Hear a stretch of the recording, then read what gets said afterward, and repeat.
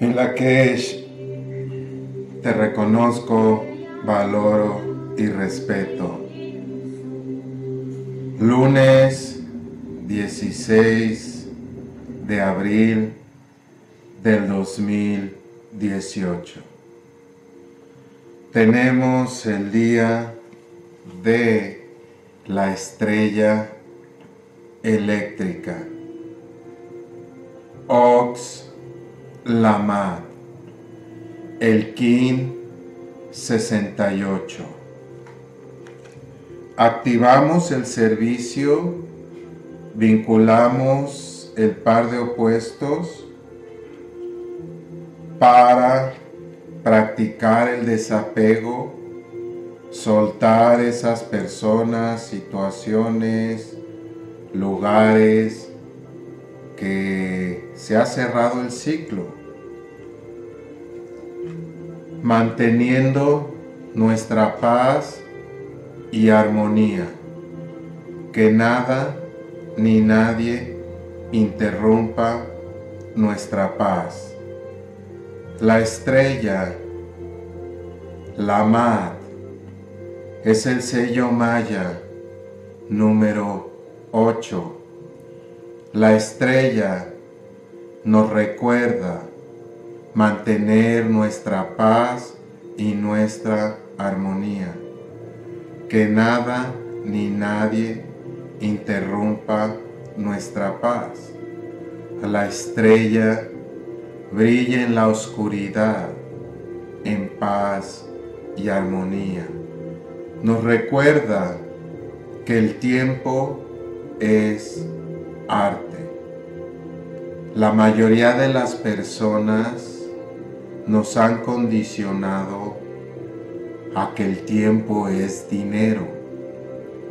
Cuando estamos creando, estamos en un estado artístico realmente expresamos nuestra verdadera esencia.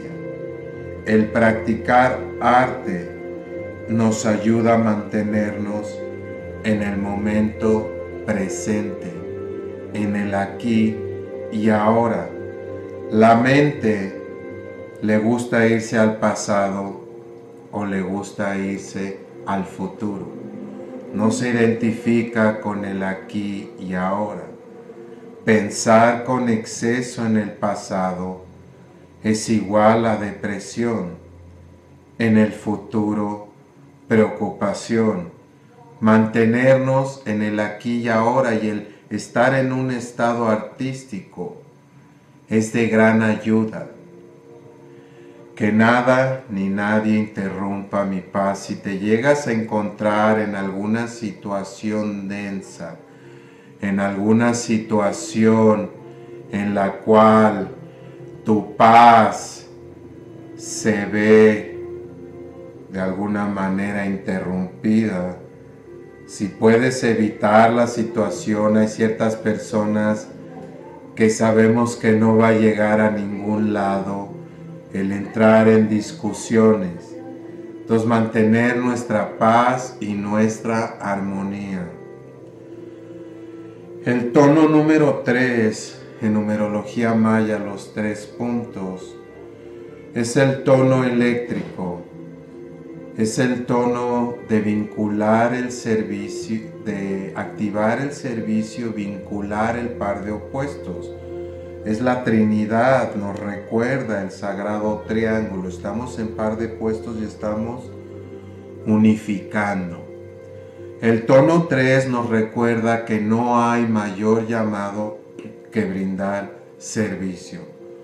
Cuando brindamos servicio, cada acto se vuelve un acto de sanación para la tierra.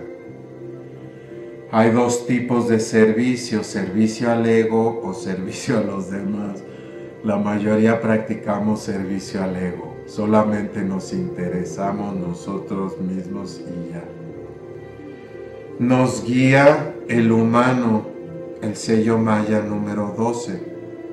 El humano nos recuerda que el espíritu, el alma encarna, el espíritu utiliza el alma para encarnar en un cuerpo físico Porque hay ciertas lecciones que solamente recordamos, demostramos, aprendemos en una experiencia física. Por eso estamos aquí. El humano es el libre albedrío. Nos recuerda que podemos escoger qué camino. Estamos aquí como seres humanos y podemos escoger. Nos invita a prestar atención a las decisiones que tomamos, especialmente decisiones importantes. Evitar tomar decisiones importantes bajo emociones temporales. Si tienes que tomar una decisión importante y te encuentras bajo una emoción densa, espera que se te pase y va a ser una mejor decisión de otra manera te puedes arrepentir. El ego se siente bien en ese momento. Luego nos arrepentimos. Toda decisión que tomamos tiene beneficios, pero también costos. La mayoría tomamos decisiones pensando que solamente hay beneficios. Poner en la escala beneficio-costo para tomar una decisión más inteligente. Evitar controlar a los demás, aspectado en sombra, el humano controla, trata de decirle a los demás qué hacer. Esto es información, tomen lo que les resuene, lo que no, suéltenlo. Cada quien ejerza su libre albedrío, pero ser responsables de las decisiones que tomamos y no culpar a los demás por lo que nos está ocurriendo. Continuamos en la onda encantada 13 días de Simi el enlazador de mundos, el poder de la muerte, nos recuerda que la muerte es transición, que la muerte realmente va a ser un inicio, es desapego. Nos invita a soltar y practicar el desapego, el desapego hasta del desapego mismo. La mayoría de las personas tenemos muchos apegos Sentimos que la, felicidad depende de alguien o de algo. La felicidad es una decisión personal. Nadie ni nada te puede brindar esa paz, esa felicidad que no hayas logrado en ti mismo. Espérenme, porque ya llegó, creo que aquí el jefe. Pásale, pásale, jefe. Disculpe que no le abrimos antes. A ver, creo que todavía disculpen, es que. Canela, pásale yo. Uno y dos entran. Entonces, bueno. Soltar. La mayoría de las personas tenemos muchos apegos. Nos cuesta soltar, especialmente las relaciones. Se vuelven tóxicas, codependientes. El enlazador del mundo nos recuerda que si no nos desapegamos y soltamos alguna relación, situación, persona, etc., es muy probable que transitemos alguna crisis. Sin crisis no hay entendimiento. Crisis es igual a oportunidad. Toda crisis se da, es una manera del gran espíritu invitarnos a hacer un cambio que hemos negado.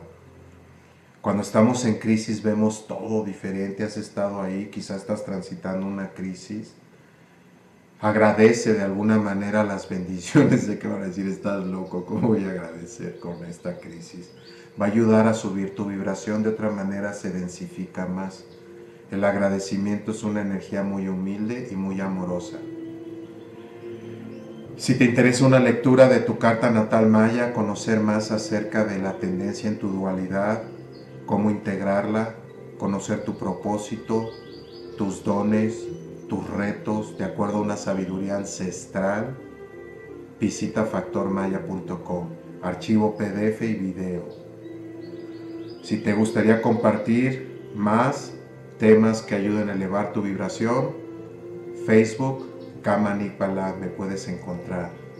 Luz, paz, amor y sobre todo entendimiento en su camino. In Lakesh. Los reconozco, valoro y respeto. Hay un Hunapku Eva Maia, Emma Rowe.